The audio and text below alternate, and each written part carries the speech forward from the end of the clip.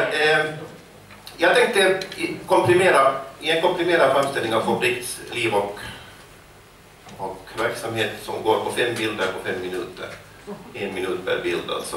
Eh, här har vi, bakom mig så ser ni en av de kändaste sentida bilderna av, av Jörgen Henrik von Bricht. Han är väl i typisk Ingo-miljö, jag förstår den är tagen tror jag omkring början av 90-talet vågar jag säga. Här är han då en, en, en ha, ha, är hans karriär liksom på sätt och vis på en höjdpunkt. Han är, han är känd som en av, av Finlands genom tiderna kändaste filosofer. De enda konkurrenterna är väl då Edvard Westermark och, och sen hans egen elev, kärnelev Jaakko Hintikka som avled i somras, i augusti.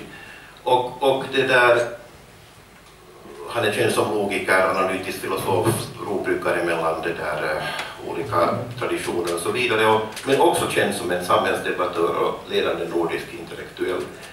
Eh, han har just givit ut en, eh, han ska just i, strax efter att den här bilden har tagits ska ge ut en bok som heter Myten om framstegen. Och lite bakom i tiden så hittade vi Vetenskapen och förnuftet, en bok som väckte en enorm uppmärksamhet. Den publicerades 1987 eller 86. Okej, okay. följande bild, jag tänkte nu gå tillbaka hastigt bara dra igenom hans liv med viktiga bilder från hans liv och gå tillbaka till, till det här barndomen. Eh, en, mycket, en viktig bild från 1920 ungefär tror jag. Ja, eh, det enda bilden jag känner till där han kör bil. Men det där, vilken han, vilket han gjorde, han körde bil. Senare också. Visst, ja. Men det här är säkert den första bilden när han kör bil. Eh, Okej, okay, det här är från Brooklyn i New York där familjen von Brick vistades under åren 1919 till 1921. Det är hans längsta enhetliga utlandsvistelse, har jag läst någonstans. Eller så har jag skrivit det, men, men det är säkert sant. Och från den här resan härstammar en skrivmaskin som kommer att dyka upp här senare, som han konstigt nog skrev på hela livet. Hans pappa köpte en, stor fabrik, köpte en, en skrivmaskin i New York som han sen sonen började skriva på när han var nio år gammal och skrev på hela livet. Vilket annorlunda är det nu för tiden, när man byter dator hela tiden. Okej, nästa bild. Det här är först är faktiskt till Helsingfors universitet. Det kan jag säga därför att det här har jag plockat ur hans studiebok. Studieböcker finns inte längre, men de som har studerat tidigare så vet att det fanns en liten bok som han alltid såg på, på man i, från professorn. Det här är från den boken, han är antagligen 18 år gammal. Jag kan se om bilden att man känner igen honom här.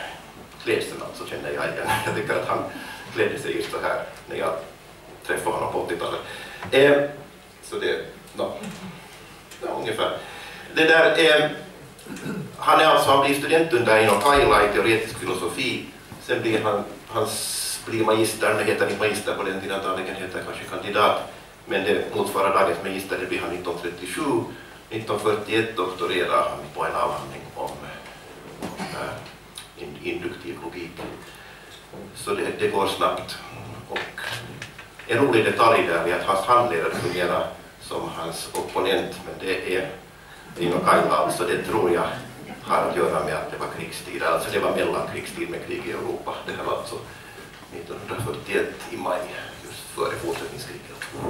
Okej, okay. vi tar nästa bild. Det här är en, en, en, annan viktig punkt. Här är han i Cambridge. Han är professor i Cambridge, det här är året 1950, antagligen tidig juni eller sen maj. Eh, han sitter framför verandan i ett jättestort hus där han bor tillsammans med sin hustru Elisabeth och två barn som är större nu, sitter här. Eh, Benedikt och Anita, hej. Eh, och så finns det han har blivit professor där och han är professor mellan 1948 och 1951 i filosofi i Cambridge Trinity College. Och det jag tänkte säga var att det finns på sätt och vis en femte familjemedlem som sitter bredvid honom här på bilden. Eh, nämligen Ludwig Wittgenstein. Jag säger femte därför att han bor med dem hela tiden nästan. Han bor med dem alltid när han är i Cambridge vad jag kan förstå. Han är alltså en av världens mest kända filosofer, anses av många som 1900-talets bästa filosofer, den mest kända filosof. Och han är Björn Henrik von Blix företrädare som professor. Han kommer att skapa en väldig oreda i eller åtminstone mycket bekymmer i von Brichts liv ett år senare genom att han dör, inte på grund av att han dör kanske, men på grund av att han testamenterar sin litterära kvarlåtenskap åt Georg Henrik von Wright och Rachel Isak Elisabeth Ernstkom, vilket leder till att han 50 år arbetar med utgivningen av Wittgensteins böcker, vilket var en säkert intressant men ofta ibland svår process. Um, just det, ehm, vid sidan av det han själv gjorde alltså. Sen går vi till ännu en milstolpe. Det här ser man inte genast varför det här är en milstolpe, men här är han då ute i skärgården på Vålö eh, i den fabrikska sommarvillan. Och där ser ni den där skrivmaskinen jag talade om tidigare. Här är han då, det är 1961, han är väl 45 år gammal här. Jag är själv intresserad av hur han jobbar. Ni ser, han har skrivit en text och sen skriver han den texten på nytt efter att ha gjort ändringar för hand. Så här gör vi ju inte längre när vi nu behandlar ord med det här. Han behandlar ord på det här sättet. Men okej, okay, varför den här historisk? Den här historisk därför att det här är en, den hör ihop med en intervju som gjordes i Hufvudstadsbladet i augusti 1961 strax efter att han utnämns, utnämns till det här akademiker, vilket han sen på hans titel livet ut. Han var då en av de tolv akademikerna. Det där själva akademin kom sen att ombildas så att det inte hade mening på samma sätt längre. Men, att, men han blev alldeles akademiker och kunde därmed ägna sig ganska mycket åt forskning. 60-talet är annars också en lysande period för honom, för han det där. Han skriver till exempel sina två kanske äldsta verk, Norman Action och bara inte så Goodness 1963 och så skriver han ännu 1971 till Explanation and Understanding som är hans kanske allra kändaste verk. Men det händer också någonting annat det där 60-talet. Han kommer att det där gå in på allvar som samhälls samhällsdebattör och intellektuell. Det som händer är att han skriver en, en arg protest mot kriget i Vietnam 1967. Publiceras i Hufvudstadsbladet i Helsingin Sanomat och Dagens Nyheter på samma dag, tror jag. Okej, eh, jag tänkte säga ännu en sak om den här bilden. Och det... Nej, jag såg inga det vi. Eh, vad ska jag säga? Jag, jag, jag, skulle säga om den här, om den här eh, bilden där man kan undra att, att hur kan han sitta och arbeta i den här arrangerade, hur är det? Han sitter ju faktiskt vid ett matbord uppenbarligen och det måste ju ha varit lite besvärligt när folk skulle äta. Men Betsy Jakkus som skrev den här artikeln i, i, i augusti 26 1961, så han har också märkt det. Så han ställer faktiskt frågan, kan en filosof verkligen koncentrera sig vid ett familjematbord med dörren öppen till förstugetrafik och fönstret öppet mot Augustifjärden? Von svarar, utomordentligt väl. Och allra bäst arbetar jag ute nere vid Sandstranden. Där bland tallarna har jag skrivit det mesta. Eh, så sätter jag en sista bild, någonting som han kanske skrev delvis bland tallarna. Myten om framsteget och här ser ni också hur den här bilden som jag visade först figurerar som ett bokomslag. Eh, den är kanske mest känd därifrån. Liksom. Ja, sen avslutar jag bara med att säga att jag har, för de som, det kanske inte finns tillräckligt många, men här finns sådana utprint av jubileumsåret Georg Henrik von Wright 100 händelser. Um, det, här finns en hel del, det blir en hel del förstås vetenskapliga konferenser i, samband med det här. Professor Bora Daimon kommer att hålla den tredje Georg Henrik von Wright-föreläsningen 18.5. Eh, vi, vi kommer själva från Rikt och Wittgenstein-arkivet att ordna en, en, en, en konferens i, i Cambridge i just det här huset som jag talade om tidigare. Och, men framförallt vill jag för den stora allmänheten, jag menar här finns också sådana saker som riktar sig liksom mot en större allmänhet och där är, där är, där är den här utställningen Tanken för kunden sen Nationalbiblioteket som öppnar den 9 tredje att rekommendera. Eller jag är inte evig för jag är väldigt långt med att producera så vi får se hur bra det blir. Eh, på baksidan finns ett, ett program som är en föreläsningsserie som kommer att finnas i anslutning till det här. Och framförallt ska ni lägga märke till att här blir en musikafton med publikt kopplad musik den 20 fjärde. Okej, tack.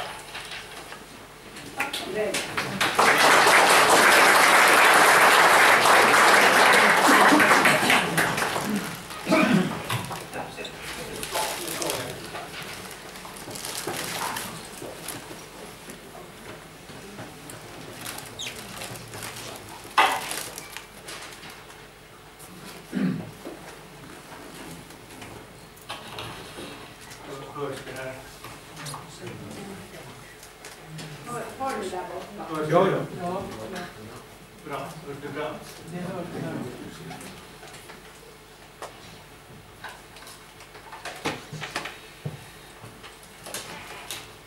Jag kommer också att hålla mig till monologformen, för annars skulle jag inte hinna säga så mycket på, på den anvisade tiden. Van Bricks intresse för filosofi väck- väcktes redan när han som 13-åring fick två filosofiska läroböcker i present av sin far. Fem år senare inledde han studier i teoretisk filosofi vid Helsingfors universitet. Hans lärare var, som vi hörde, Eno Kaila.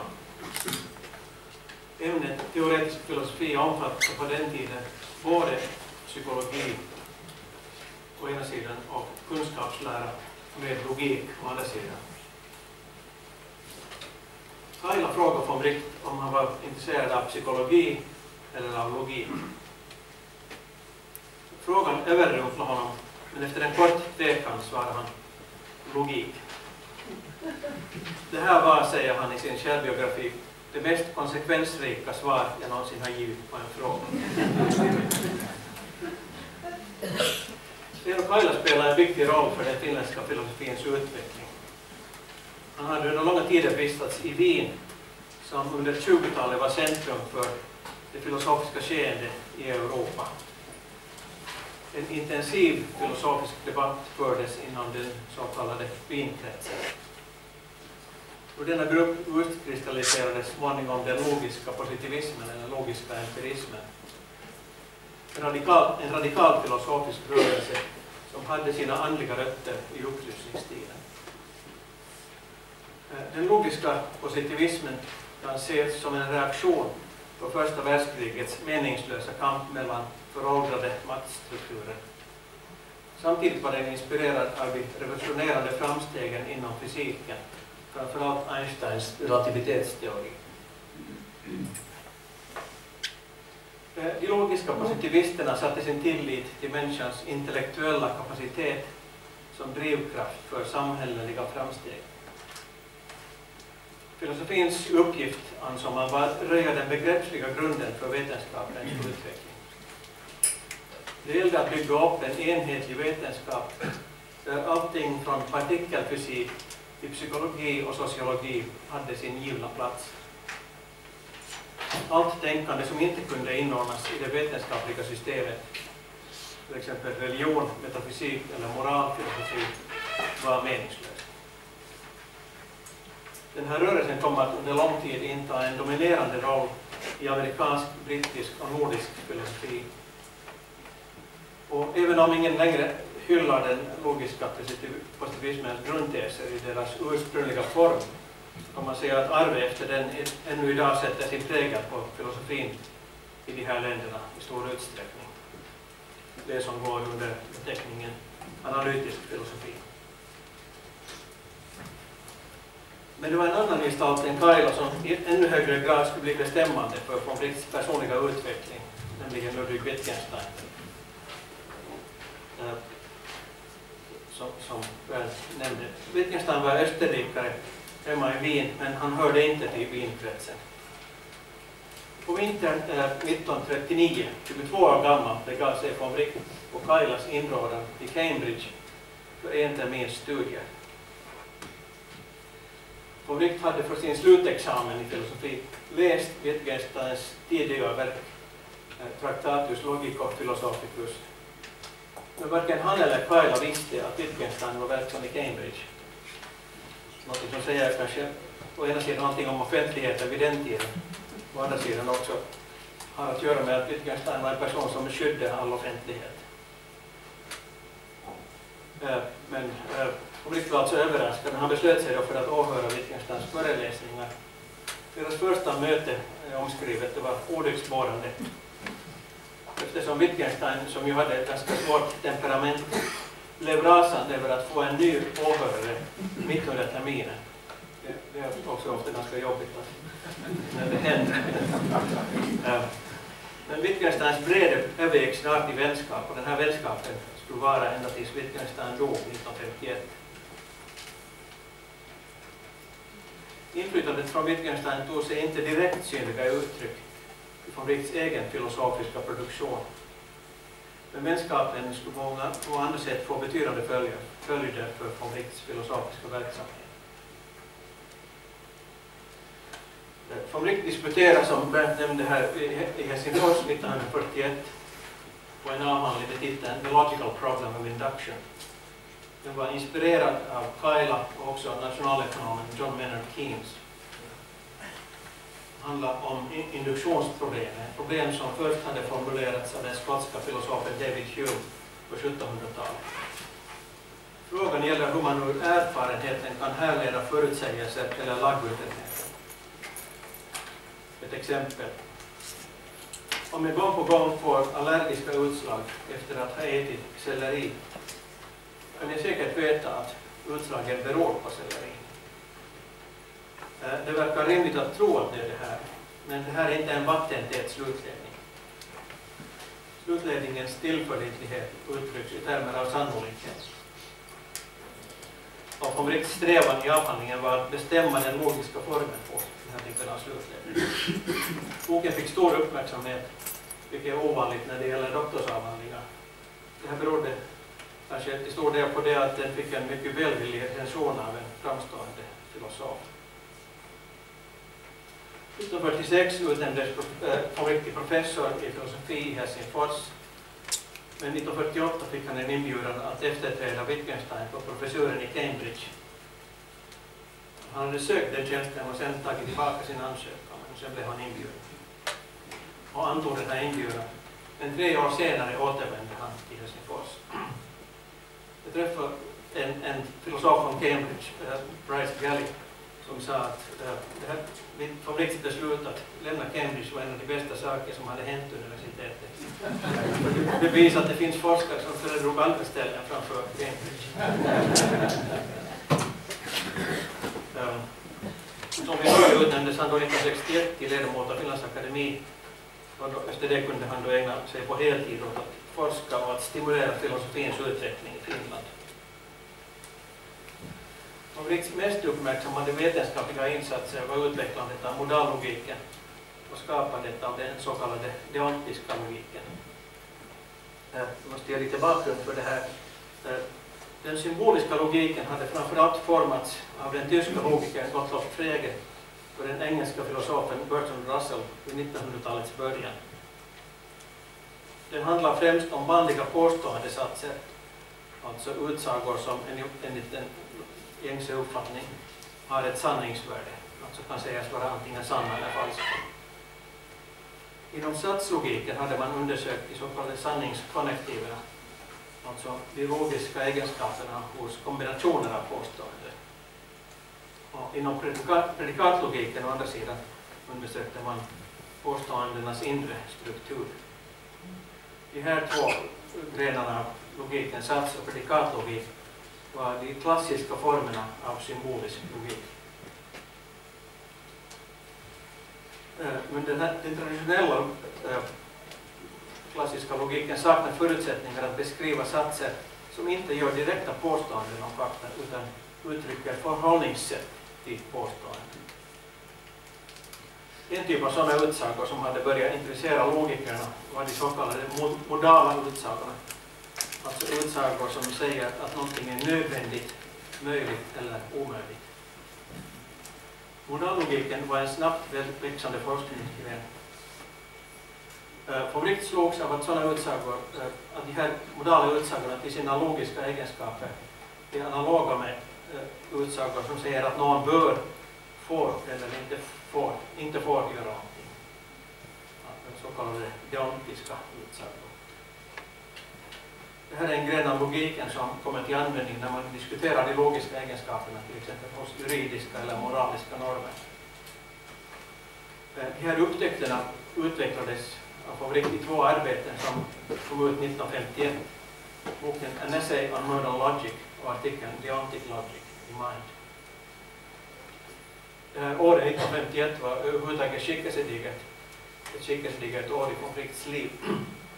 Det här året utkom två av hans viktigaste arbeten.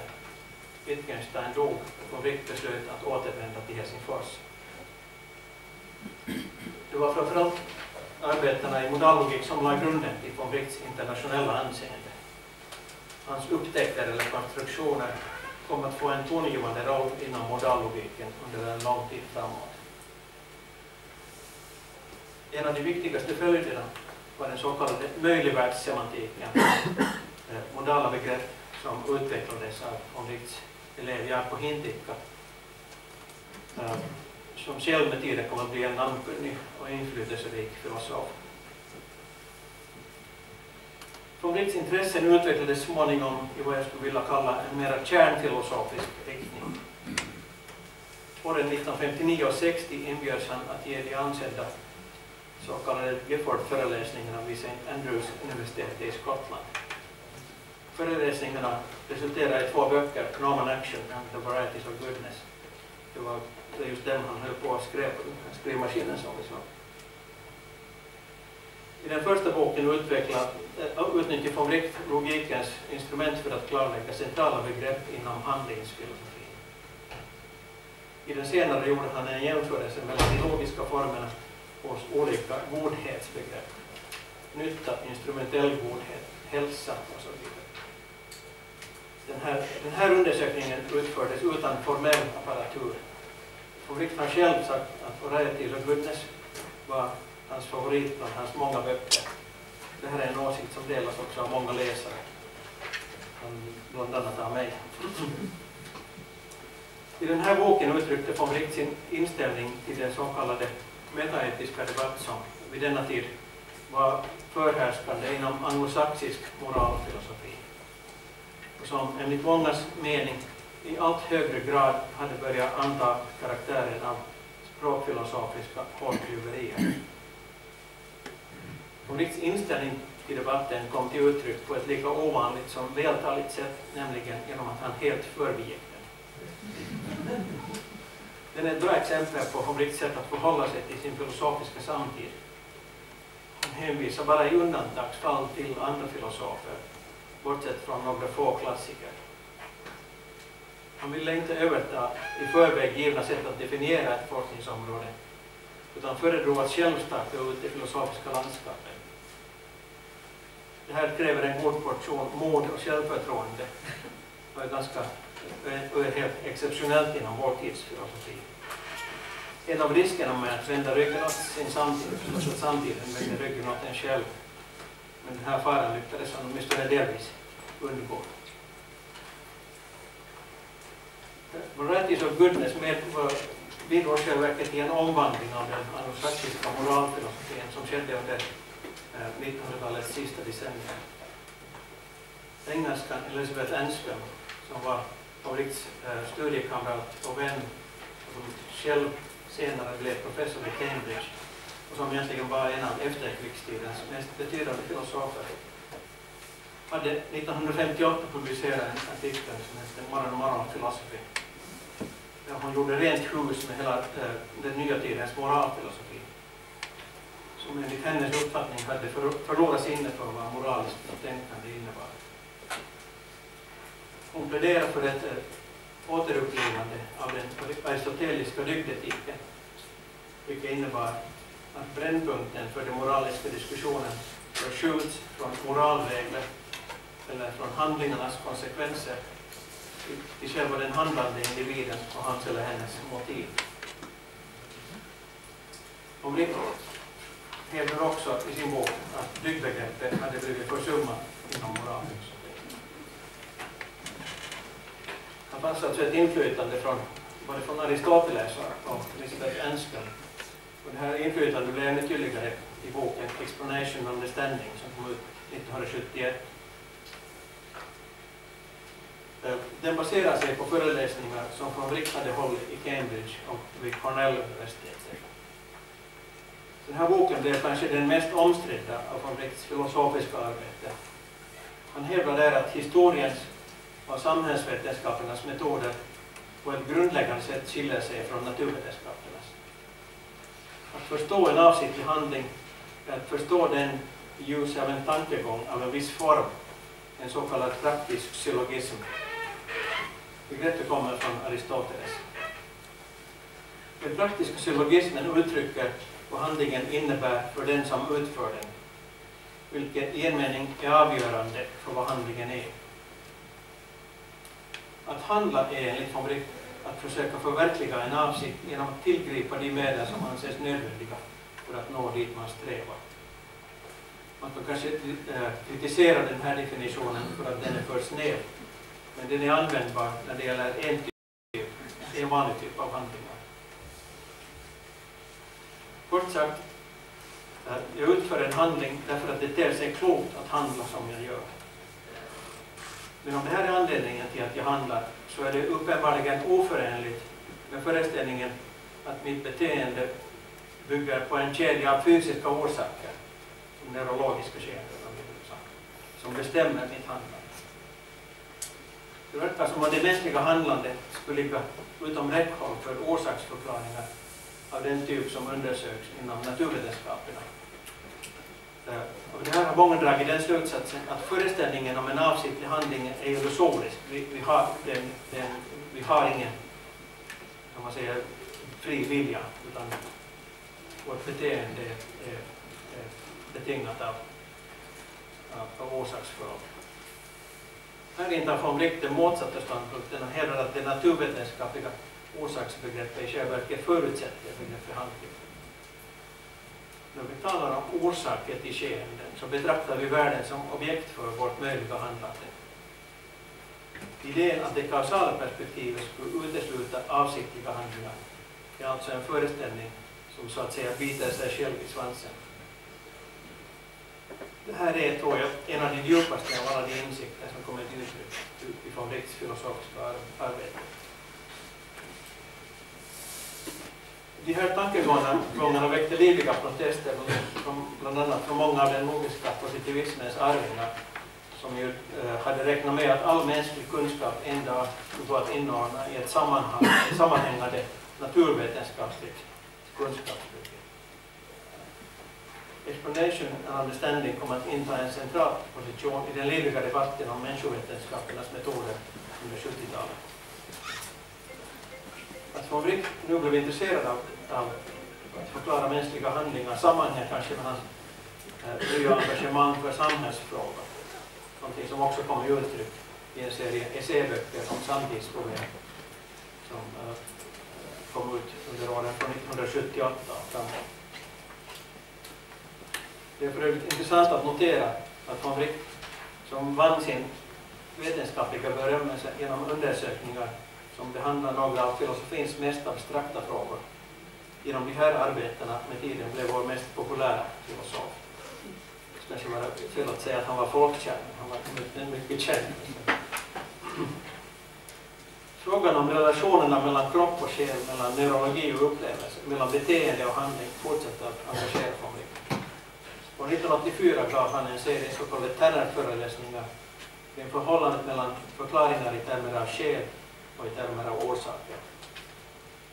Eh, Temat kunde man förkalla liksom frågan om, om människans frihet. Han fortsatte att brottas med de här djupa och svåra problemen ända till sin död. Hans sista bok, In the Shadow of the Cart, från 1998, innehåller essäer om de här frågorna från de sista 20 åren av hans liv. Den är minst lika skarp och inträngande som hans tidigare arbete.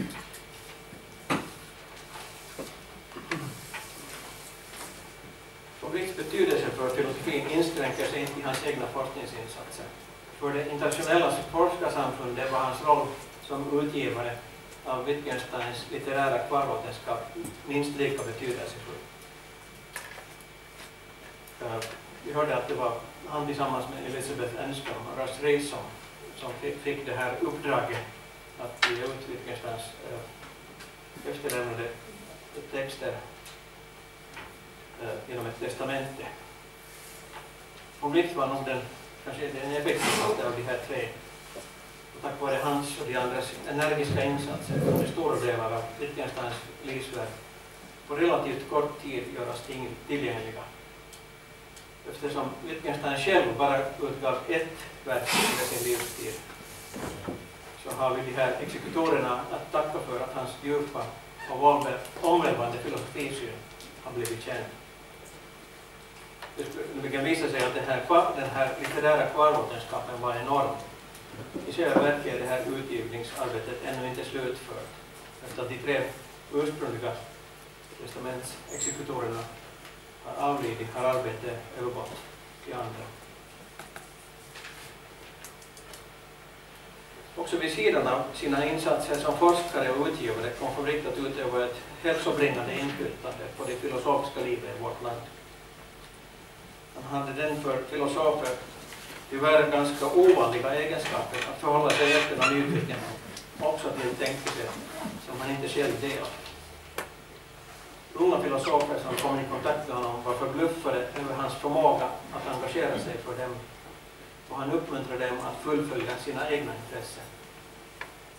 Följden är att det filosofiska klimat, klimatet i Finland blev betydligt tolerantare och vidsyntare än i många andra länder där filosofin ofta lamslås av rivaliteten mellan analytisk och kontinental filosofi. Konvikts filosofiska kontakter i flera olika väderstreck bidrog dessutom till att göra den finländska filosofin internationell. Finländsk logik, analytisk filosofi och filosofihistoria har ett gott anseende i världen. Vilken roll returen till Finland än må ha spelat för von Wrights egen karriär var den en välsignelse för vårt intellektuella liv. Jag hade själv förmånen att känna von Wright i 35 år. Det var en berikande bekantskap. Hans stöd i början av min karriär var ovärderligt, också om jag inte gick i hans filosofiska fotspår. Han kunde uppskatta det jag gjorde också när vi var oeniga. Under sina sista decennier blev han alltmer radikal i sitt sam samhällsengagemang, men i sin egen livsstil och framtoning var han vilt konservativ. Hans framtidsvisioner var pessimistiska, man kan kanske till och med tycka lite väl pessimistiska. Men som privatperson var han utåtriktad, spirituell, humoristisk och mycket generös. Han var en skarp kritiker av företeelser vid tiden, men tolerant på det personliga planet. De olika sidorna av hans personlighet stod inte i strid med varandra, tvärtom gav de honom bredd och balans. Härigenom utgjorde de grunden till en av de fruktbaraste livsgärningarna i vårt lands lärdomshistoria.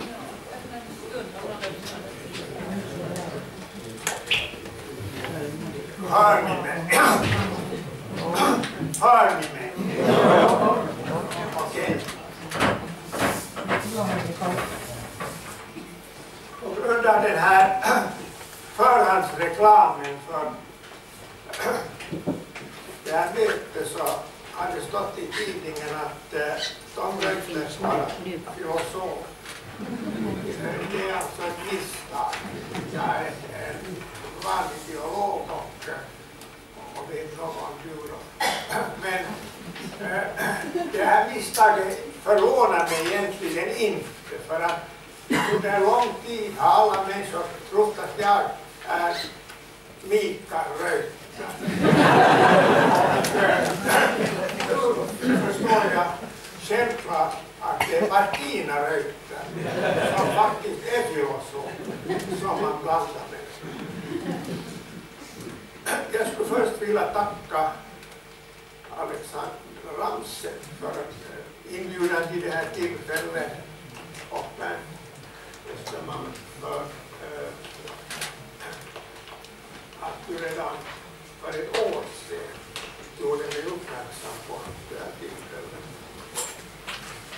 Min rubrik i det här tillfället är vilka mentala och fysiologiska. Vil- vi ska se vad det var, vilka mentala och fysiologiska faktorer som styr vårt beteende. Nu tycker jag att det är alldeles sant att jag har, har sagt det här. Nu tycker jag att man skulle istället lyfta katten på bordet så att säga och inte tala om mentala och fysiologiska faktorer utan tala om själen och kroppen. Då har vi i, i, då kommer vi till själva kärnfrågan.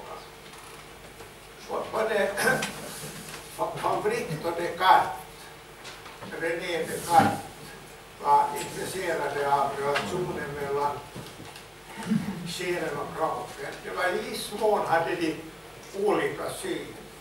Descartes ansåg att äh, själen äh, och kroppen är väldigt, representerar väldigt olika världar. Och jag återkommer just till det. Däremot favorit såg människan som en välfungerande psykofysiskt fungerande helhet. Så att man kan säga att äh, äh, som var en, en, eh, äh, hade ett, ett holistiskt grepp på människan och Descartes egentligen ett, ett dualistiskt grepp på människan. I själva verket utesluter de här två inte varandra så att det, det, det, kan, man, kan man diskutera. De, de,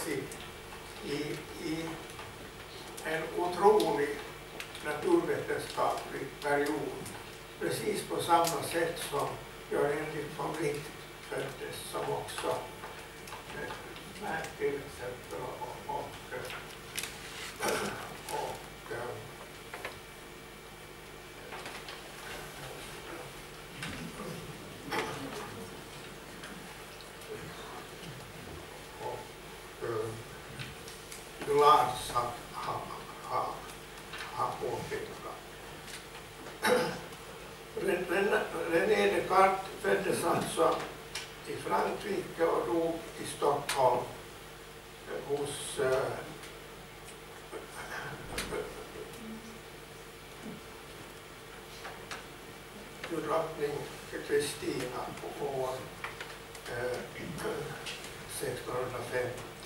Han gick i en förnäm jesuitskola och som var en bas för hans nordiska tänkande och han äh, det var en, en skola för, för både flickor och pojkar. Och det, det gav honom, honom en, en, en insyn i, i att också flickor kan tänka, också kvinnor kan tänka. Jag hade säkert en stor betydelse för hans senare korrespondens både med prinsessan Elisabeth av Böhmen och, eh, och eh,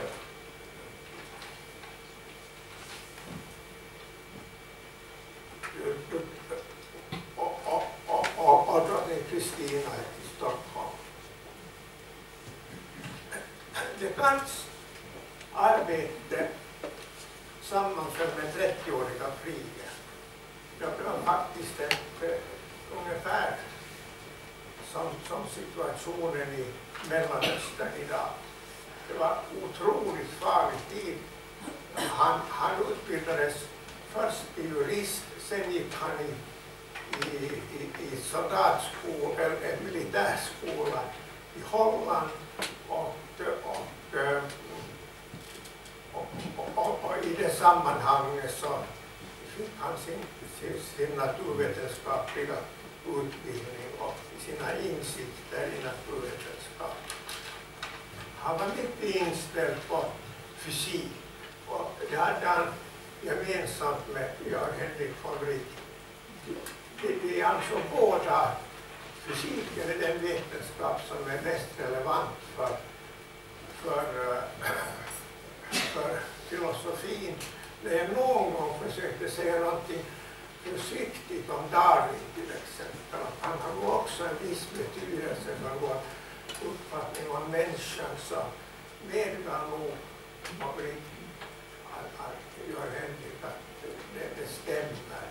Men att eh, han vidhöll att fysik är det, är det centrala. Och fysik i form av biofysik är också det centrala för vår förståelse av mänskligt handlande.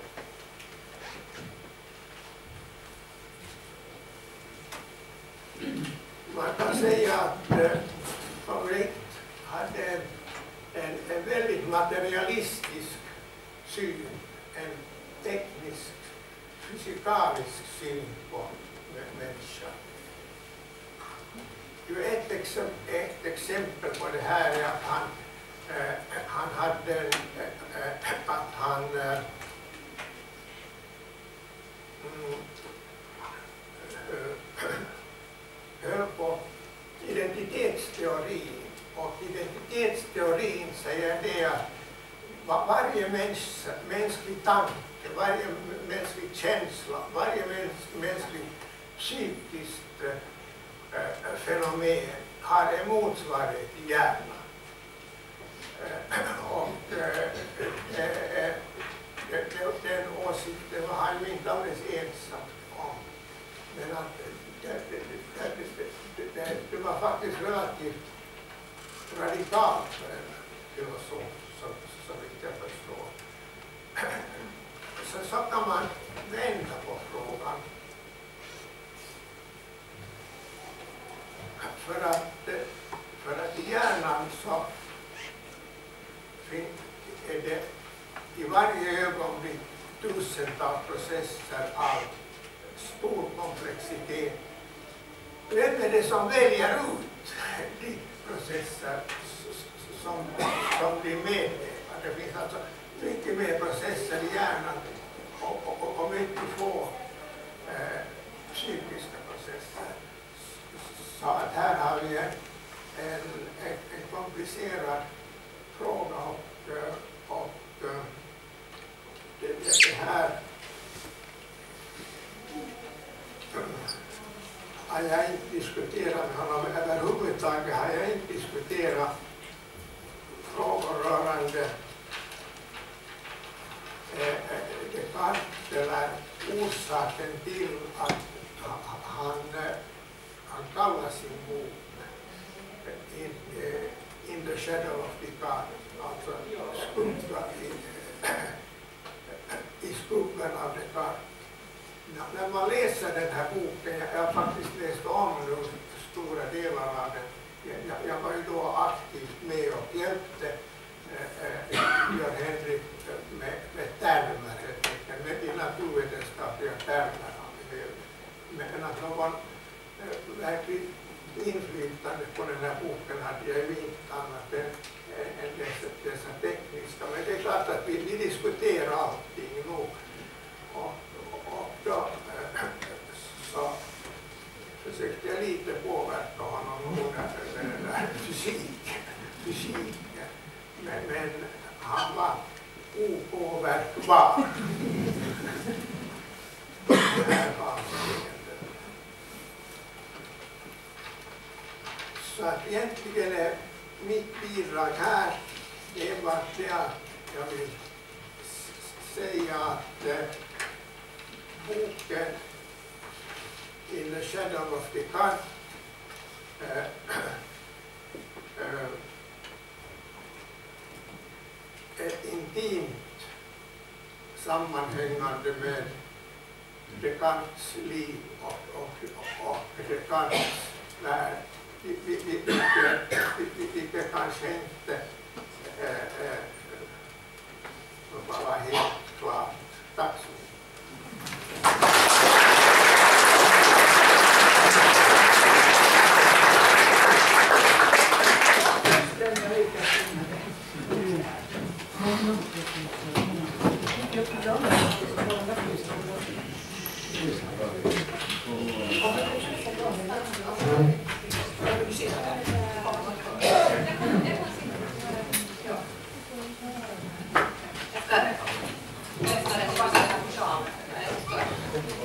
Jag, jag det där föredrar att sitta till skillnad från någon annan för att jag just haft en lång flunsa eller att jag tippar, tippar ner där bland publiken om jag står.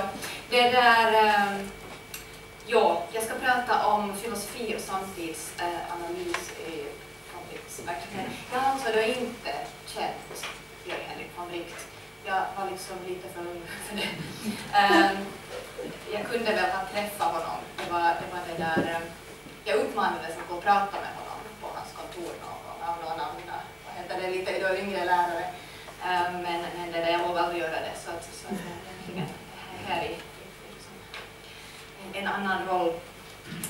Um, jag ska prata om det här. Förhållandet mellan filosofi och samtidsanalys för den som intresserar mig själv och, som, och jag tror att det är också en så här, från Vicks roll i det här. Är också en alltså, både filosofihistorisk och kulturhistorisk fråga. Jag ska lite delta i det. Jag kommer inte komma särskilt långt. Eh, Bernt skriver väldigt förträffligt om det här eh, på andra ställen. um, vad heter det? Jo, man hör idag ganska ofta ett krav eh, eller ett önskemål om att forskare ska bli mer samhällstillvända bli bättre på att kommunicera vad de gör till en bred allmänhet, speciellt på senare år. Då tänker man sig dels att forskare ska bemöda sig att popularisera sin forskning, men också att de eventuellt ska ha den stora allmänheten i åtanke när de väljer sina forskningsobjekt. Man lyfter gärna fram då akademiska samhällspåverkare som von Wright som ideal för vad just en humanistisk forskare borde vara. Eh, ähm, då, för att, ofta för att legitimera sin existens, helt enkelt göra sig nyttig. Eh, om en humanistisk forskare inte kan vara ekonomiskt nyttig så bör han eller hon åtminstone vara allmänt känd, läst av många och en påverkare. Eh, vad man kanske inte är uppmärksam på är hur mycket det här ideal som man för fram skiljer sig från von Britts egen verksamhet. För von Britt var vetenskapen och det skrivande som de allra flesta känner honom för självklart två olika verksamhetsområden. Så han hade, man kan egentligen säga att han hade två stora uppdrag. Uh, eh, von Wright var ända från början både intellektuell och forskare. Um, han skrev i studentbladet på 30-talet och även i Nya Argus redan från slutet av ehm, 30-talet. Uh, ehm, mycket av hans samhällskritikerstitik kom, ut, utkom under den senare delen av hans karriär. Men man kan notera eh, att mycket av det som kommer ut i de här C-samlingarna mellan eh, 1978 och 1994, alltså från humanisterna som livshållning till, till de här 90-talsböckerna, är av äldre datum. Kunskapen streds med centraltext i humanismen som livshållning. Eh, 1978 jag också skriven redan 1957 till 1960, om jag har fel. Eh, också volymen Att förstå sin samtid Det är uttryckligen en samling eh, essäer för en bred bildad publik från en 50-årsperiod.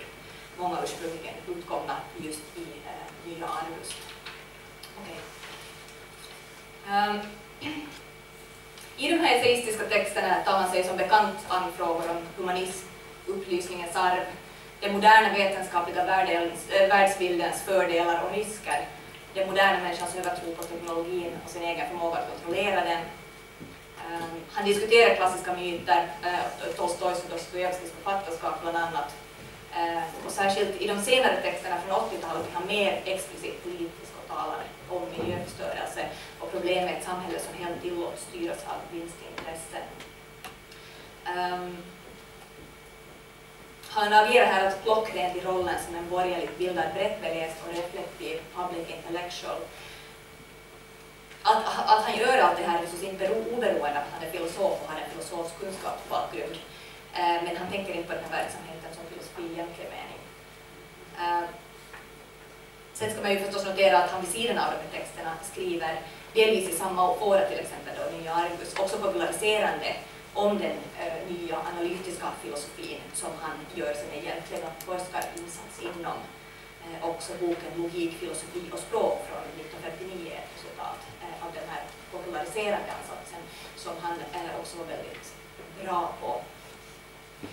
Också i sin vetenskapliga verksamhet, det vill säga eh, den egentliga filosofiska forskningen, var han en mångsidig tänkare som vi hörde här eh, Ehm, i Lars Hertzbergs eh, presentation.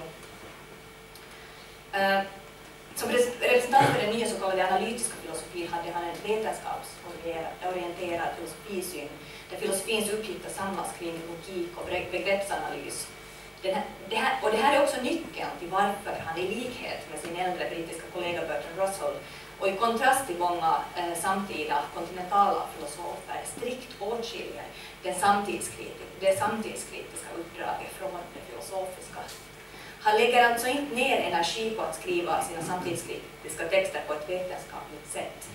Eh, han använder inte motapparat, går inte systematiskt genom eh, relevant källmaterial, riktar sig inte till ett forskarsamfund, strävar inte efter att formulera forskningsmässigt nya synvinklar eller insikter i de här Eh, essäistiska texterna.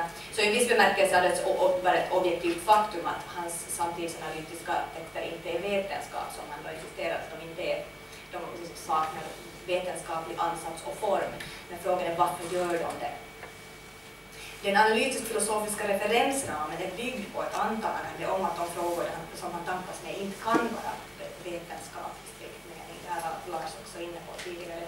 De får inte plats i den filosofiska inriktning som han företräder ehm, eller som han så att säga är med och bygger upp och blir därför förvisade till en annan plats. Man kan fundera på varför det här är fallet. Ehm, den analytiska filosofins sätt att skuffa ut livsfrågor, historiska frågor och samtidsanalys kan inte hänföras till någon enskild orsak. Och de här orsakerna för det här utskuffandet har också sett olika ut, lite olika ut från så att säga, von Wrights tidiga eh, verksamhetsår till vår tid. Det finns fortfarande liknande, liknande rörelser. Eh, det finns en rad bidragande faktorer. Den västerländska filosofins sökande av det universella som gör den här typen av, av liksom, tidsfunderingar eh, kanske lite för så, kortlivade. Um,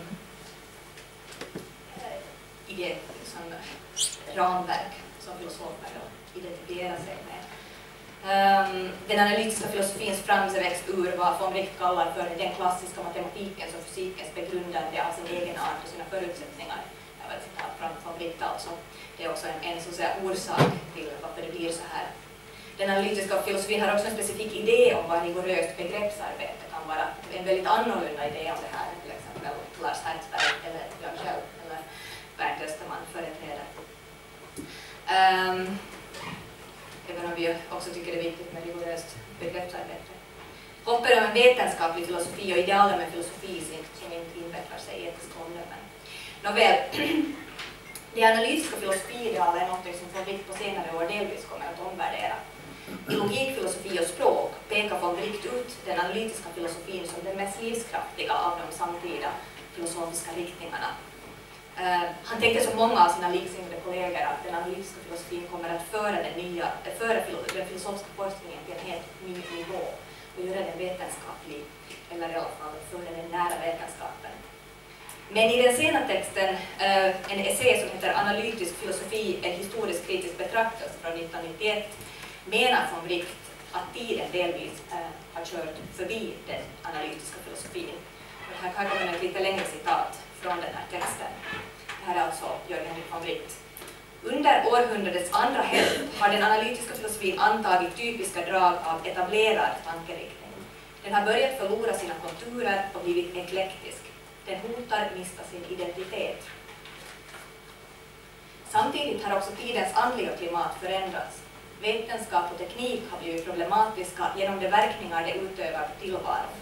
Den analytiska filosofin som själv bärs upp av den vetenskapliga framstegstron är i grunden oförmögen att vidare problematisera dessa verkningar.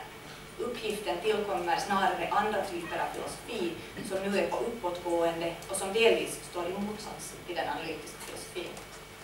Och där tar citatet slut. Um, då von Wright med åren blir mer kritisk mot den analytiska filosofin kunde man kanske tänka sig att han skulle bereda plats åt sitt samtidskritiska arbete som på många sätt är väldigt viktigt för honom i den akademiska filosofin. Men i den korta intellektuella självbiografi som finns med i Myten om framsteget från 1993, också väl i den här Living Philosophers-volymen, jag tror att det är en, en, en, det där, samma text, så skriver von Wright eh, som följande om sina essäer. Det här är då eh, von Wright. Kanske kan man säga att jag i dessa mina arbeten varit på spaning efter nutiden.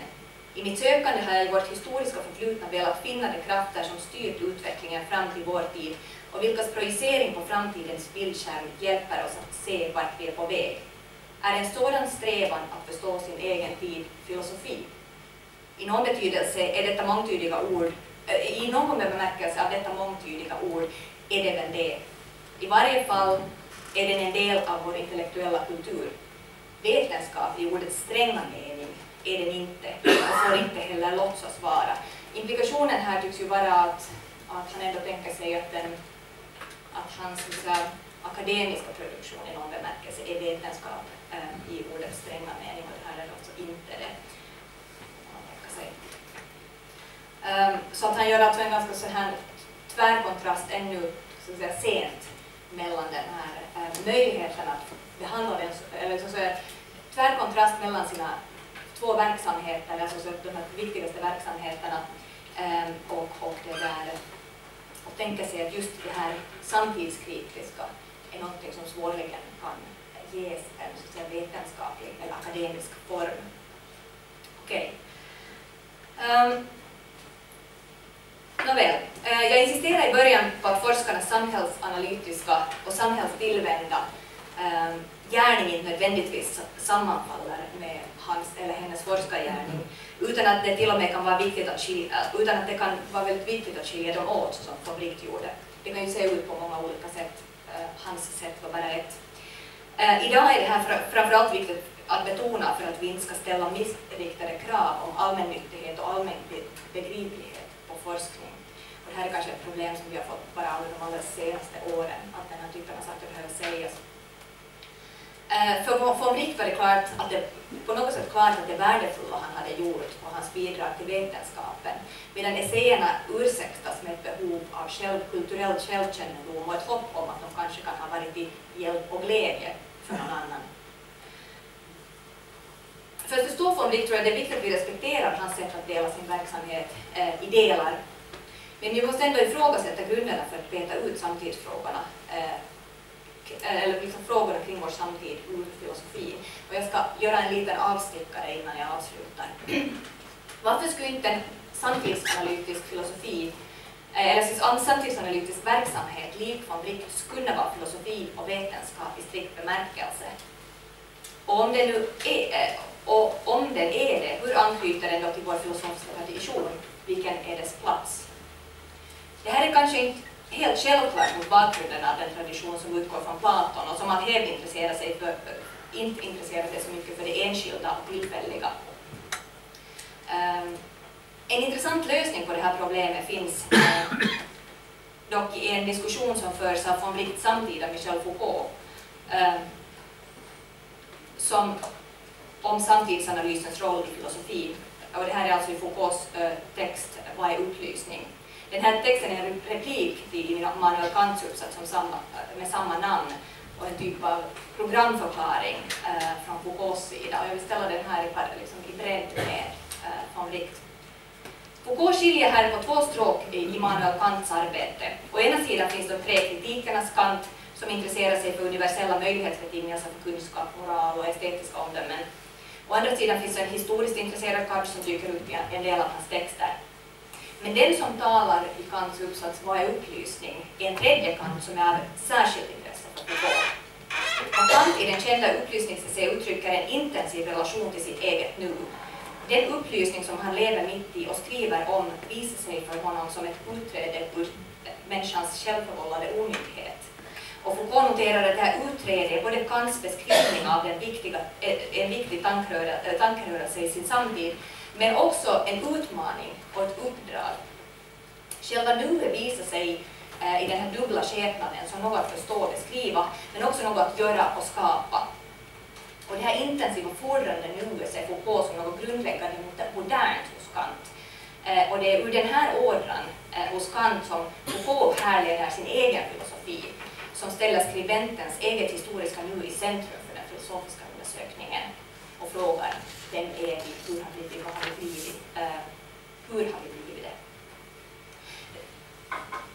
Därmed frågar Foucault inte sitt eget arbete efter de universella möjlighetsbetingelserna, villkoren för det ena eller det andra, utan efter de historiska möjlighetsbetingelserna, alltså hur har vi blivit vad vi är? Hur, genom vilka skeenden har vi kommit att tänka på oss med en viss sorts subjekt med vissa specifika egenskaper? Och det här är förstås frågor som många 1900-talstänkare eh, ställer sig. Det naturliga för moderna tänkare att problematisera sig själv och sin samtid är precis vad Foucault syftar på när han talar om, det intensiva nuförhållandet i, i Kants upplysningstext som något grundläggande modernt. Samma intensiva frågande om oss och vår livsform finns bakom von Wrights samhällsanalytiska essäer.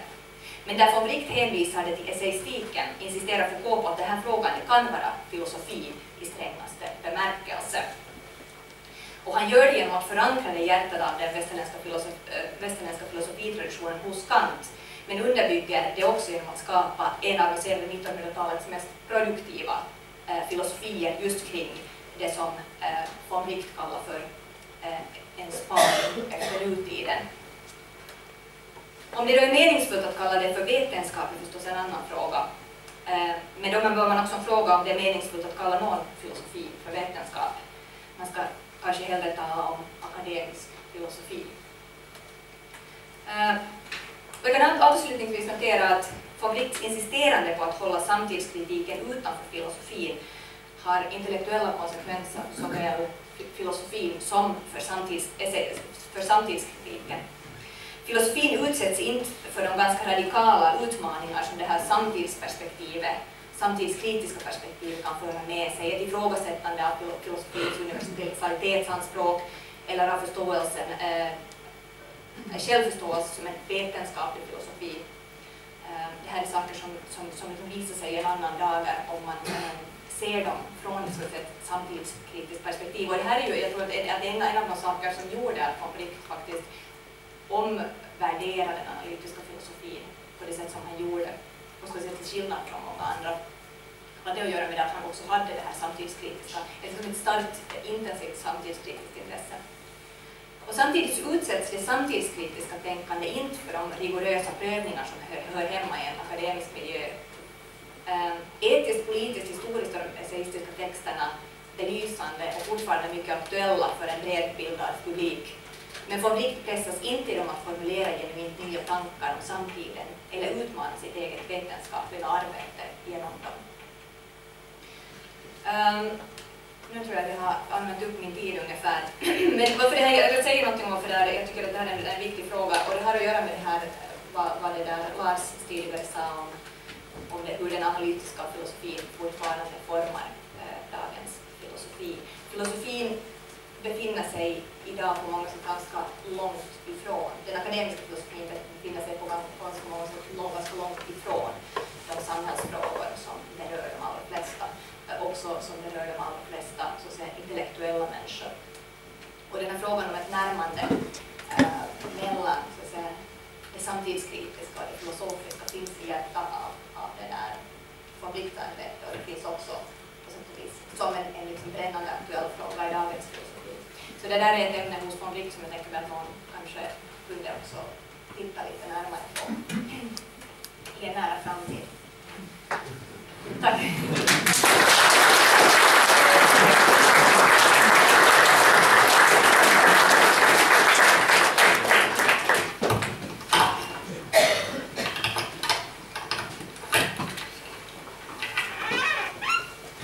Jag tror att vi har fått von Britt i ett nötskal upp. Och oberoende har vi fått våra egna tidigare uppfattningar om von Wright lite rubbade. Jag tror att det är det som är meningen med upplysning. Man lär sig någonting nytt. De här talarna hade inte övat tillsammans. Så jag tror att de här, det som ni hade att säga kanske väckte frågor också, också här kring bordet. Så jag ger först ordet till den av er som har lust att kommentera.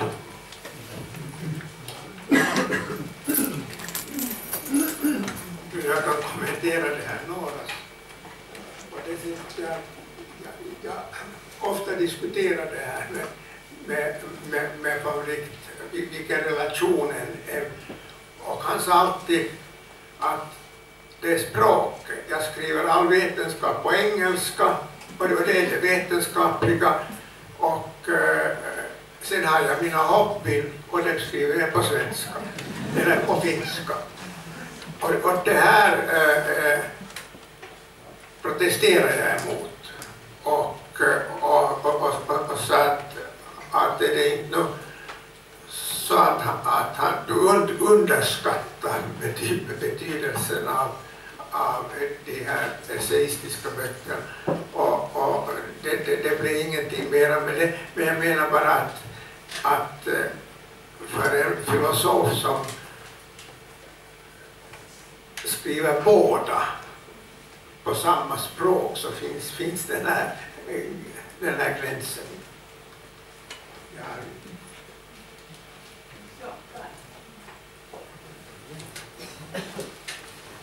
Ja, det är fascinerande drag hos honom just det här att han underskattar sin egen äh, verksamhet. Men där måste man just det som, som kan vara svårt att se om man inte branschen är kanske det att han, han kommer från en tradition där man liksom strävade sen över, han liksom började jobba i en tradition där man, logisk positivistisk tradition där man analytisk tradition där man strävar efter en slags sån här överexakthet, oerhörd exakthet och det liksom betyder det också att man begränsar liksom idén om vad man alls kan säga och, och, och att man kan säga det liksom så tydligt som möjligt och det, allt annat är lite kanske lös spekulation och man måste vara väldigt försiktig att använda termerna rätt, om det är något fel, och något annat och på ett annat sätt. Och det, det kommer en hel del av sådana problem som andra inte har. Men det är det som Nora sa så tycker jag att det är en ganska intressant sak om man lyssnar på det som hon läste upp, eller någon läste tidigare också, och tittar titta på det där så han, han, han liksom han skiljer mellan å ena sidan finns det det här som man då ska kalla för vetenskap och det räknar han liksom då säker, med säkerhet det här logisk forskning och, och det här. Och sen har han den där, det där som man då kanske i någon slags vid mening kan kalla för filosofi. Så det är den där, det är den där samhällskritiska, teologikritiska verksamheten. Och då blir just den stora frågan att, att om man läser riktigt noga där så ser man att där försvinner liksom frågan om vad filosofi är. Alltså han, han vet inte egentligen vad han ska kalla på riktigt för filosofi. Det är antingen vetenskap eller så är det det där som man nog kanske kan kalla filosofi. Men han tror inte det heller. Så man undrar vad är då filosofi? Och det, det är väl på något sätt den där mycket typiskt för honom att han har det här vacklande mellan det här.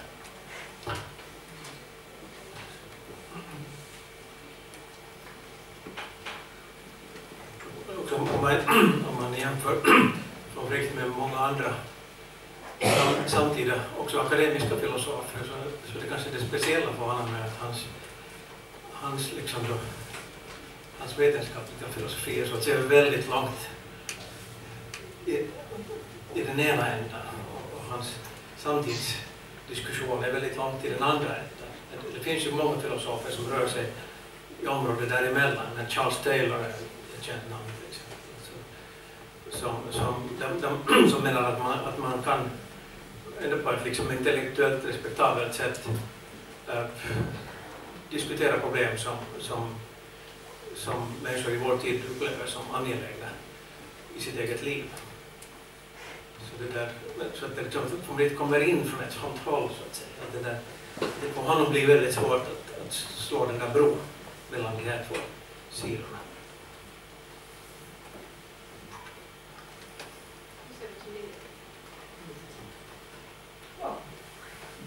Jag förstod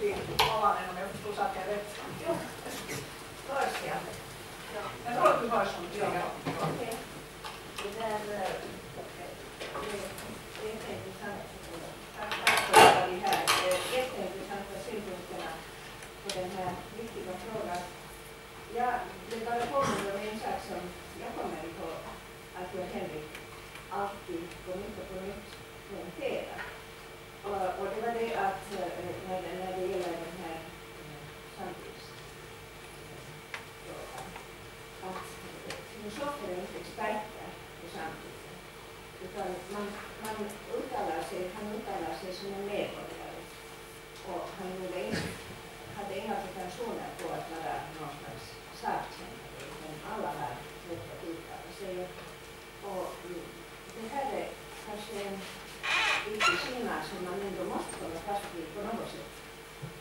Eh, därför för att eh, det finns ingen del i den här eh, den filosofiska, systematiska utbildningen är, är viktig och har sin egen viktiga uppgift, men den hjälper inte på något vis att lösa samhällsproblem, utan det är några helt andra aspekter och, och vi är alla, vi är alla eh, experter, utan som filosoferna eller några den slags, så vitt att vi följer med oss samtidigt. Jag tycker att, att det här var en, viktig skillnad som vi har gjort. Jag vet inte hur ni ser på det här.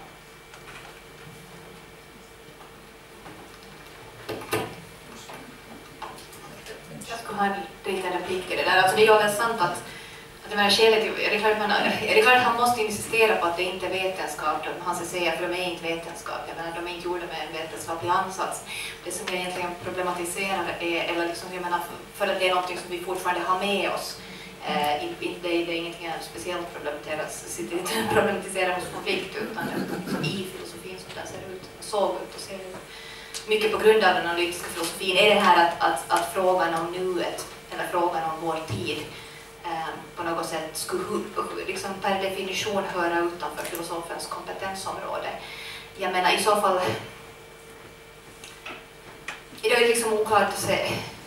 Jag menar, tycker jag att moralen borde också definitivt höra utanför filosofens kompetensområde för det är alldeles uppenbart att det som filosofer kan om moral är väldigt otillräckligt. Alltså det är fruktansvärt rudimentärt. Så så i den, på det sättet så jag menar, kan man ställa frågan om, om det där om det är liksom rimligt att tänka sig att just, just, just de här nu-frågorna måste vara sådana som, som, det där, eh, som måste vara utanför, som må, bör placeras, som inte kan liksom beredas plats i en liksom, så att säga, rigorös eh, akademisk eh, och jag menar, det finns ju så många andra filosofer som har gjort väldigt så, här, eh, gedigna insatser där.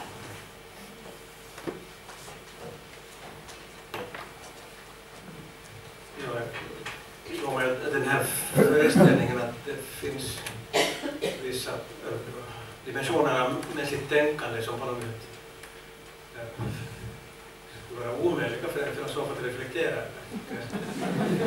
Det är lite konstigt. Ett sätt att betrakta filosofi är väl att säga att det är, en sorts, att det är just ett reflekterande, ett, en strävan att göra sig medveten om vi saker vi tänker, vi saker vi, vi säger åt varandra, vi samtal vi för om olika saker. Och, och det där. Det, och, och- det, det, här, det, här det här borde inte finnas några gränser för vilken, vilka, vilka angelägenheter, vilka mänskliga angelägenheter som, som skulle vara värda värda ett filosofiskt intresse.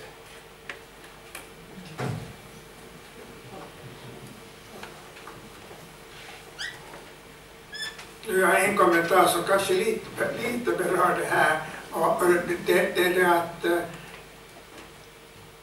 John Henrik brukar säga att ordet filosof kan användas för två alldeles olika saker.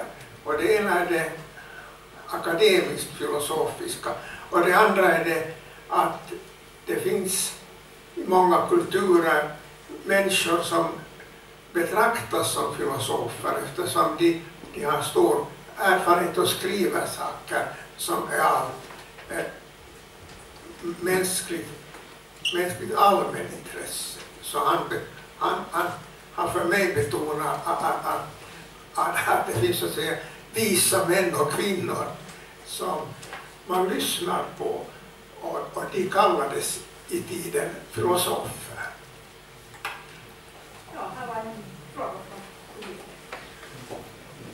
Här,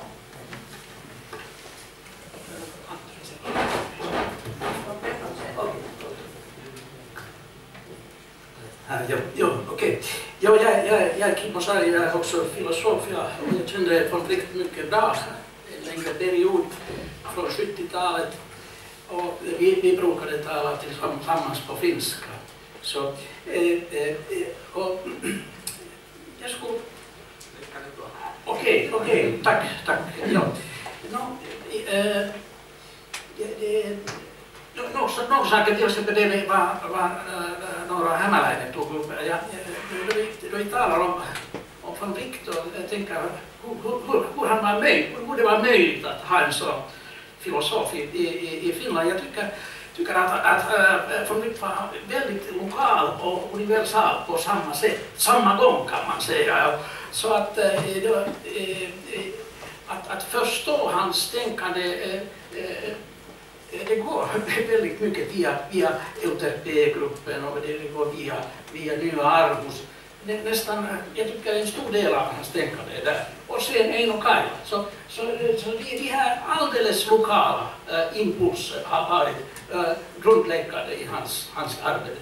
Och, och, och, och på samma gång de här, de här, de här äh, den, den, äh, den internationella Eh, filosofiska värden. Men, men eh, det, det, det, det är en, en, en sån, eh, jag tycker, väldigt viktig, viktig sak. Då, då, vi, då vi tänker till exempel Yrjö Hirn eller, eller äh, Sigurd Frosterus, jag är expert i, i Frosterus äh, tänkare. Uh, Frosterus med sin, sin äh, teknologikritik, det, det, äh, från direkt fortsätta den, den linjen. Det finns, finns många andra, andra linjer i, i, inne i Euterpes och, och, och, och, och, och Annivarus äh, tradition som, som, är, som är med i, i hans, hans tänkande. Ända, ända från Topelius kan man säga. Och, och, och, eh, jag tycker det, det är den aspekten, hur, hur, hur att förstå hur, hur, hur, hur han var, var möjligt och eh, vad var hans, eh, en del av hans största intressen. Ja, tack.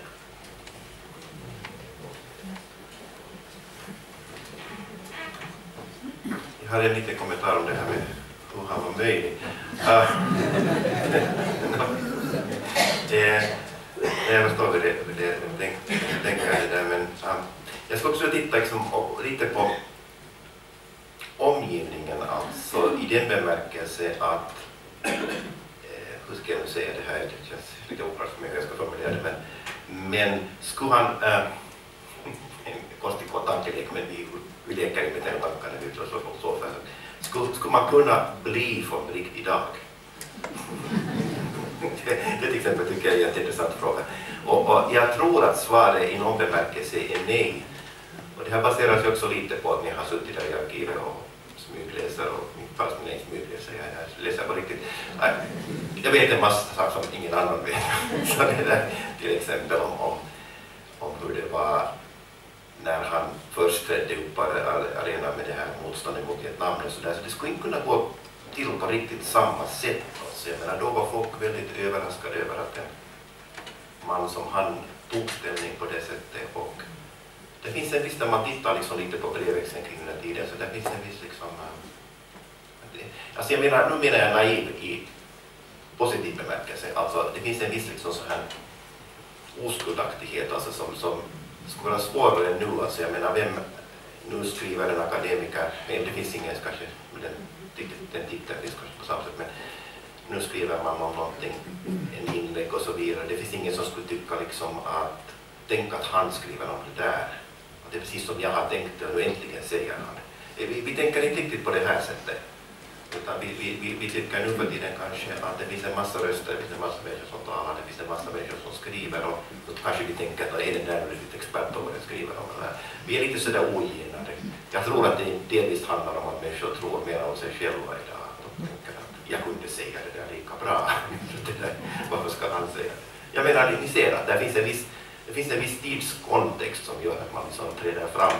Det är inte att ringakta på sig, men det är intressant att se den där jag tror det liksom är svårare att bli folklig nu, men förstås blir ju aldrig någon på samma sätt som någon annan. Men nu lämnar jag det här för det börjar bli för svårt. Jag ska fortsätta.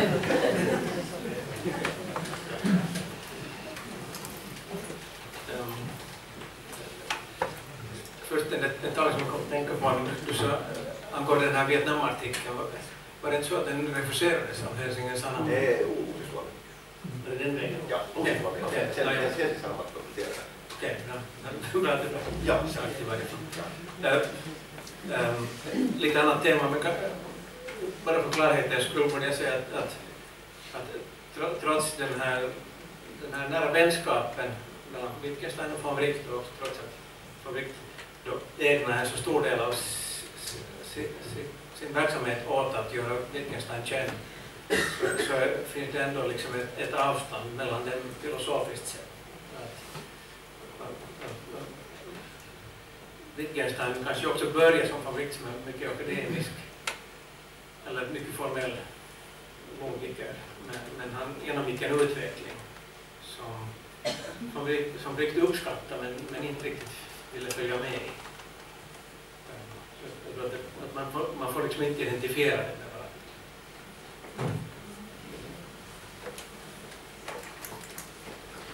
Det har varit mycket fråga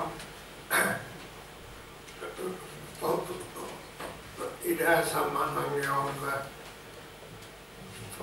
konflikt och Vietnam. Och, och, och själv sa han ju att eh, det här är bara vad mina amerikanska kollegor har sagt åt mig. Att, att, att jag översätter bara vad olika kollegor på andra sidan Atlanten har sagt. Men att eh, eftersom det har varit fråga om eh, vilken roll Nyarkus spelar så vill jag säga, jag visste inte att det skulle vara så jättestort eh, stort auditorium här, men jag har sex exemplar av Nyargus som beskriver samarbete mellan von Wright och mig, så att om någon som inte, pre- inte är prenumerant eller har tillgång så, så finns de här. Ja, Ja, det är lite fråga uh, Lars Hellsberg, eller Robert Runeberg. Uh, lite fråga Lars Hellsberg, främst ut här relationen mellan, filosofi och, och samhällskritik och vetenskap. Liksom, för då skulle man finna ut, liksom, det är från Bertrand Russell, hur skulle Bertrand Russell ha tänkt sig skillnaden mellan det är Bertrand Russell lite lik i, sin, i, i de här två sidorna. Men såg Bertrand Russell en stor skillnad i de här två sidorna, på samma sätt som, eh, som von sa. Och sen då fortsätta med att hur skulle Wittgenstein ha sett på att von Wright ville skilja mellan samhällskritik och filosofi?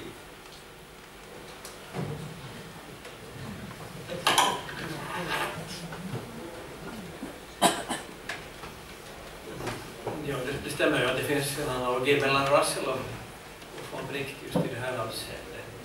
Uh, Russell skrev ju en mängd som icke-akademiska arbeten och också eh, så att säga populär, populärfilosofi. så att säga. Och det- En parallell är också det att de båda var kraftigt som starkt engagerade för fredsproblematik. Men eh, ja, jag tror att man också hos Russell nog kan göra en, en ganska klar distinktion. Det finns det väl vissa,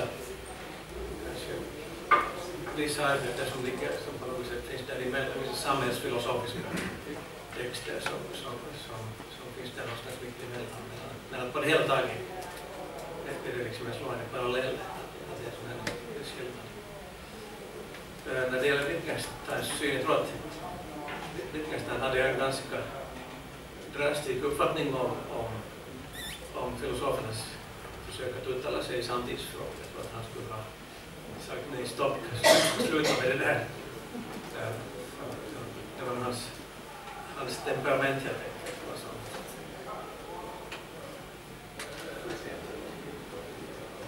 Jag råkar ha satt in mig lite just i det här med Russell så, så jag kanske skulle kunna säga någonting om det. Jag, jag vet att Rassel faktiskt, har... när, när de gjorde den här Library of Living Philosophers i den serien, en Russell-volym, där det finns också en von Wright-volym och det finns en Jaakko Hintikka-volym, så det finns två finländska filosofer i den. Men där, där så ville de också ha med, det är sån där volym där man då liksom folk skriver artiklar om, om den här filosofen, så får filosofen liksom medan han skriver så att säga kommentera den här saken. Och där så sa, sa den här, där, där så, så har de också sagt med lite om Russells, jag menar för mycket handlar om logik, men en del har de sagt med om, om Russells liksom samhällskritiska saker. Och då säger Hassel i någon kontext att han inte, jag kommer inte ihåg kontexten hur olika den är, men han säger det i någon kontext att han kan inte egentligen förstå varför de har satt med det där, att det är han, det som han skriver, i stort sett just som medborgare, att han, han, han tycker inte alls att det är filosofi. Att Russell skulle, skulle ha sagt detsamma. Han skulle ha sagt det ännu skarpare, och det finns ännu en intressant sak där, och det är von Blichts inställning till Russell. Den är nämligen komplex, extremt komplex. Jag menar, det, det, det, det börjar redan någon gång på, i studentbladets tiden, i slutet på 30-talet, så skriver han en recension av Russell där han mycket tydligt säger att han tycker att Russell liksom skriver väldigt ytliga och, och ointressanta saker om samhället, att han borde hålla sig till det han kan. Då är han alltså 21 ungefär. Och det här följer egentligen med honom. Det, det är det här um, Ännu på 50-talet så finns det en tidningsartikel där von Wright skriver att han tycker att Russell liksom inte, inte är bra på det här, det, på, på att skriva. Det här var också Wittgensens uppfattning om, om, om Russell. Att, att Rassel skrev, skrev, skrev just de värsta möjliga texterna han skrev om samhället. Det är märkligt då. Men sen kommer en ny fas och det är det att von Wright kom att uppskatta just i samband med att han själv gick in i samhällsdebatten på allvar i samband med Vietnam och det här. Så det, det var ju faktiskt samma år som, som von Wright publicerar sin, sin artikel om Vietnam så ordnar man Russell-tribunalen i Stockholm på nära håll 1967 där man då liksom på något sätt i folks frånvaro ställer dem inför rätta för krigsförbrytelser. Jag vet inte om Russell själv var med, med, med. men han, det finns en sån här nekrolog som, som det där von Wright har skrivit egentligen förekom i samband med en konferens på början av 70-talet där han säger att han han är extremt eh, liksom imponerad just av den här intellektuella samhällsdebattören som inte är samma, det är inte samma som att han skriver essäer och försöker analysera samhället utan det är att man går ut med liksom ett försvar av mänskliga rättigheter liksom i offentligheten. Det där, det där tror jag är ganska viktigt att man ser det, där är en liten skillnad.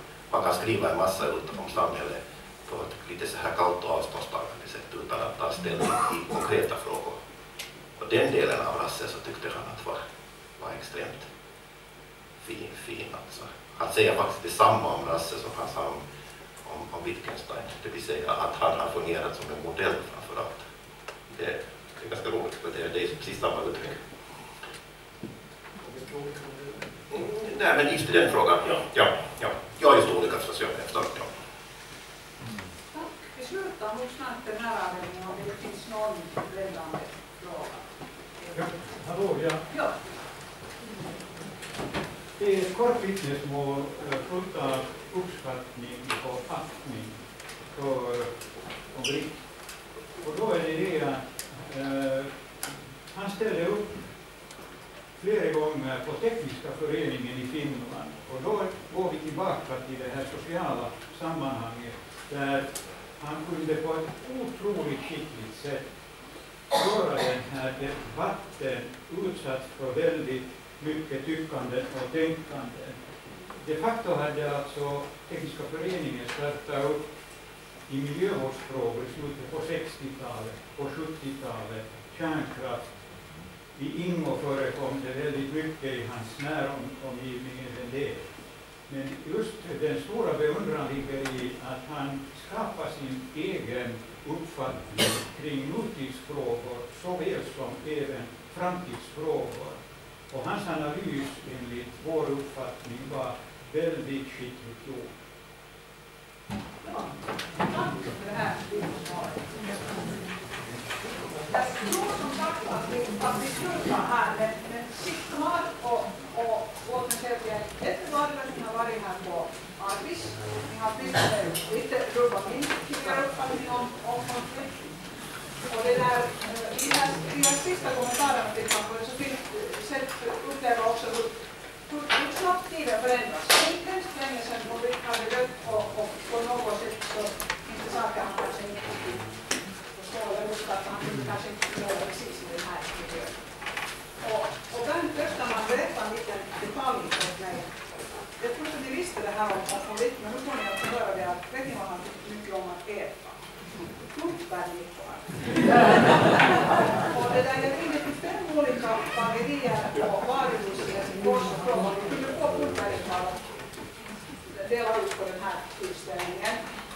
Och det gick inte för det är numera en säsongsvara.